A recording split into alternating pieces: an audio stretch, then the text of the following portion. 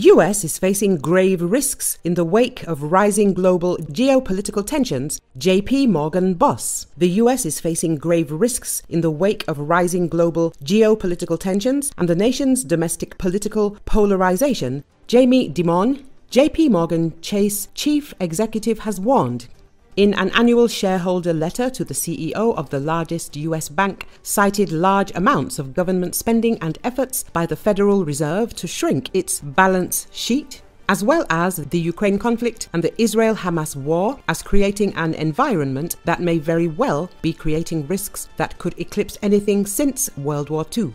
America's global leadership role is being challenged outside by other nations and inside by our polarized electorate. Dimon wrote, We need to find ways to put aside our differences and work in partnership with other Western nations in the name of democracy.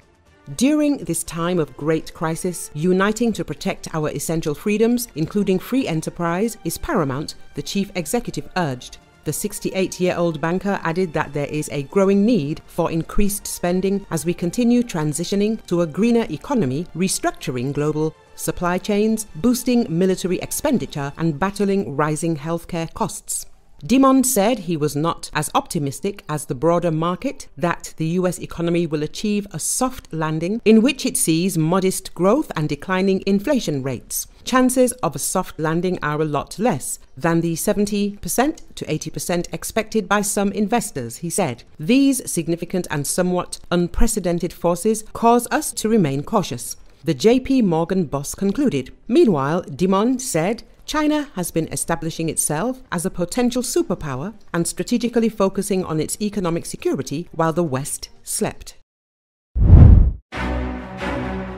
Units of the invading Russian army have increased their attacks in the direction of the city of Chasiv Yar, Donetsk region.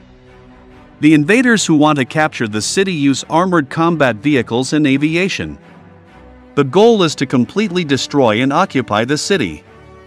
In the frames distributed on Telegram channels, it can be seen that a large part of the city has been destroyed.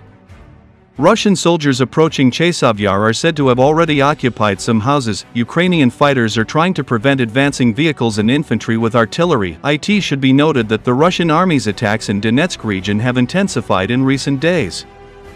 Attacks of the invading army in the direction of Tonenk village near Avdiivka city and near Novomikhailovka village were prevented. A large number of combat equipment and manpower of the invaders were destroyed.